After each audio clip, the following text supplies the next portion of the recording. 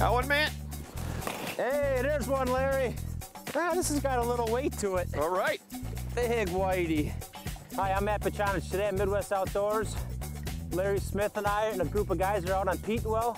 We're gonna go after a smorgasbord of fish. White bass, walleyes, catfish, and hopefully some big crappies.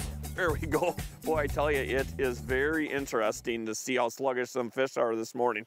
But we just came off of a low pressure here, and it's just, the barometer's just, there's a nice crappie. The barometer's just starting to come up. And on this body of water, it's the second largest lake in the state here, Petenwell. Very stained system, so the sun is everything. And it's a banker's bite. Nine to three normally. Oh, there's one, Larry. Got one? Oh, this one feels good. Come on, man. Let's see a Oh, crappie. Nice, nice. Boy, those white bass are fun to Oh, catch. What these fish are doing right now is they're laying real tight to the bottom.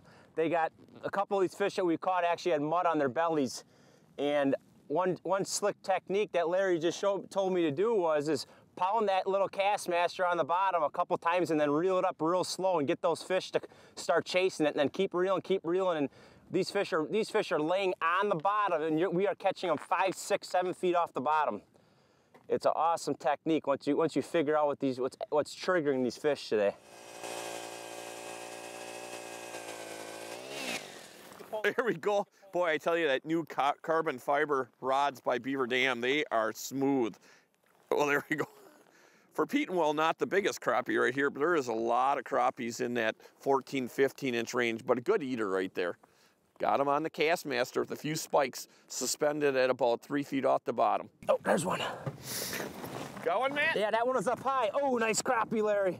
Oh, that's a nice crappie. There's a dandy. That's what we came for today. Nice job. And what these cra- these crappies are all three, four feet off the bottom. And I actually, when that spoon was fluttering down, I stopped it right above that fish and I just held it right there and he came up and just smacked it.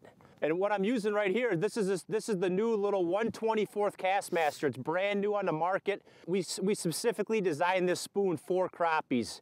And I'm tipping it with a couple little spikes and a little piece of pork. And the reason why I like to go with, with both of those combinations on the bottom of the spoon is that pork is always gonna stay on there. So if I'm shaking it real aggressive and a fish swipes at it and misses it, it's gonna stay on there even if I lose my spike. So I got a little piece of meat on the bottom there. There we go. I was marking that one. Well, four feet off the bottom, a little bit higher, and he came rushing right up to it. There's a nice crappie, decent crappie again on that gold Castmaster. And he just inhaled that one, I'll tell you that.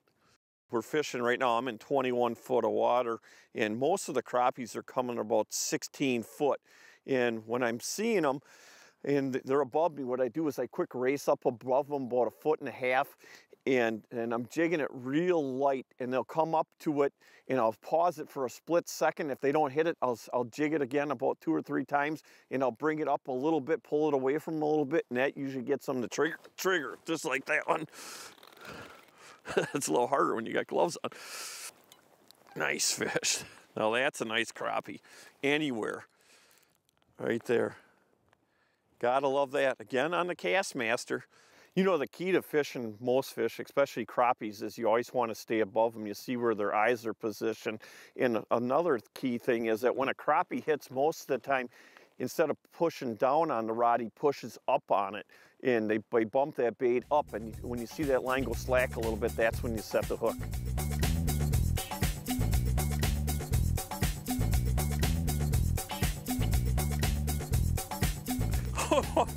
I seen him on the Humminbird. Come right there he is. Oh, there's a double, Larry. Got one, man? That's Oh, a nice man. School moved in there, boy. My graph lit up. Let's see whose is nicer. Oh, Come on. Hang on, don't. Let's see. I think they're pretty comparable. look at that. Jeez. That is awesome. I tell you, Matt, you know, the unique action of that Castmaster, I think myself makes a big difference, especially on these days when the fishing's a little bit tougher. You know, like I was saying earlier, this bite is always better because of the tannic water when it's sunny. And when you get these cloudy days, you really have to dial things in just right. This winter, we have a whole new series of Castmasters, glow blue, glow red, UV, and different golds and, and chromes. Check it out. It's gonna be available throughout the whole Midwest. It's an awesome ice fishing spoon. I'm Matt Bichanich, the Midwest Outdoors. will be right back.